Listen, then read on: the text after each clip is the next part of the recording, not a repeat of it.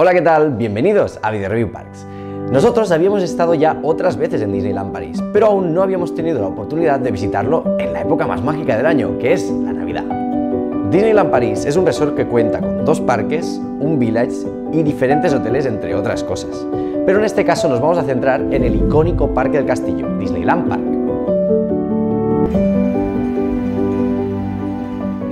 We would be so happy to see you here at Disneyland Paris. Now for Christmas season, or just back in 2018, as I just said, for the season of the Force, or for the Festival of Princesses and uh, Pirates, or with seeing our Spider-Man when we have our Marvel Summer of Superheroes. We will see you for our next magical day at Disneyland Paris.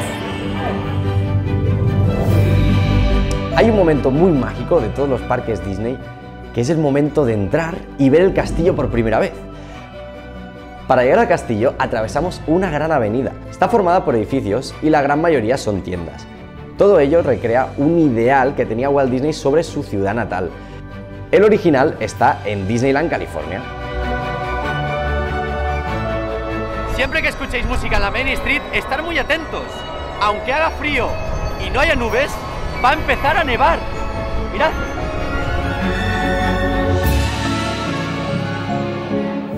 Y llegamos al castillo de la Bella Durmiente. Este es de color rosa. Y es que debido al mal tiempo que acostumbra hacer en París, decidieron pintarlo de este color, porque si fuese de un color grisáceo como son el resto, podría llegar a confundirse con el cielo y no destacar tanto. El castillo se puede visitar por dentro, donde se recrean diferentes escenas de la historia de la Bella Durmiente. Incluso podemos visitar las mazmorras que tiene el castillo, donde nos está esperando el dragón.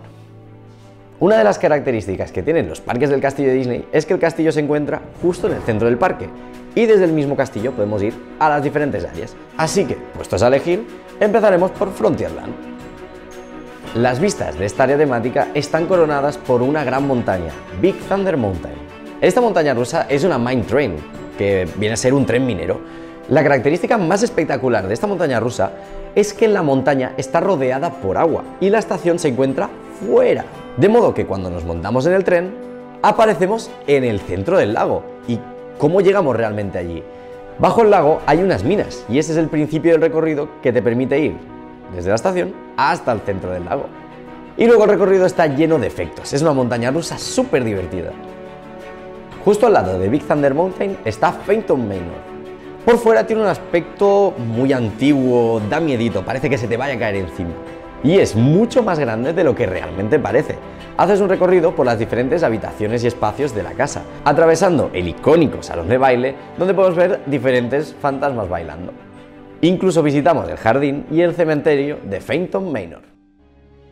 Y alrededor de Big Thunder Mountain navega el barco de Tom Sawyer. Podemos subirnos para dar un paseo y ver las vistas.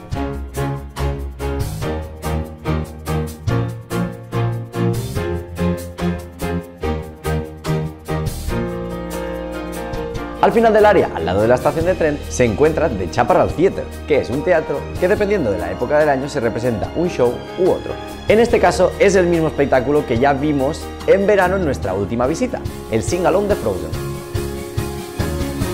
Let it go, let it go.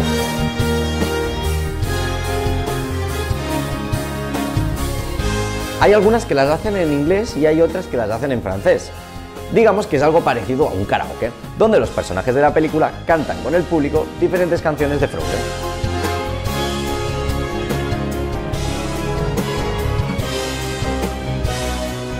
Frontierland también tiene tiendas y puntos de restauración, pero a grandes rasgos esto es lo que nos ofrece este área.